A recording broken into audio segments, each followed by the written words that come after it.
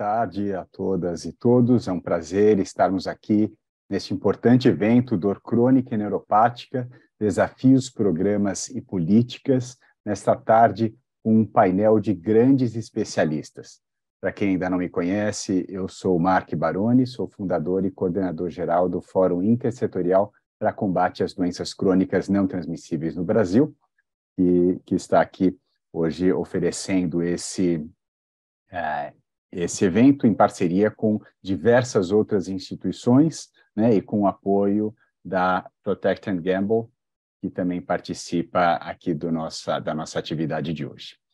É, hoje nós teremos, é, durante a nossa tarde, os seguintes objetivos, então. Compreender o desafio é, que são as é, que, que, são né, dor crônica e dor neuropática, então a nível pessoal e populacional, né, sabendo que essa é considerada a doença, né, digamos assim, a dor crônica como um todo, a doença crônica mais prevalente.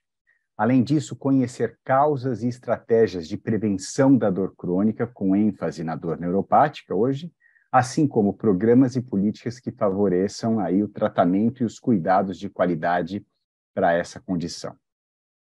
E também, claro, fazer um engajamento dos diferentes setores em planos intersetoriais para ampliação de programas e políticas para o enfrentamento dessa condição no país. Bom, os nossos objetivos, assim como a mini biografia de cada um dos panelistas é, é, está publicado no nosso site. Eu vou pedir, então, por gentileza, para que o Pedro, eh, que faz parte da nossa equipe, compartilhe o link do nosso do hot site desse evento, tanto no YouTube como no Zoom, para aqueles que nos eh, eh, acompanham, para que possam acessar, então, esse hot site, acompanhar toda a agenda e verificar aí a mini biografia dos nossos panelistas de hoje.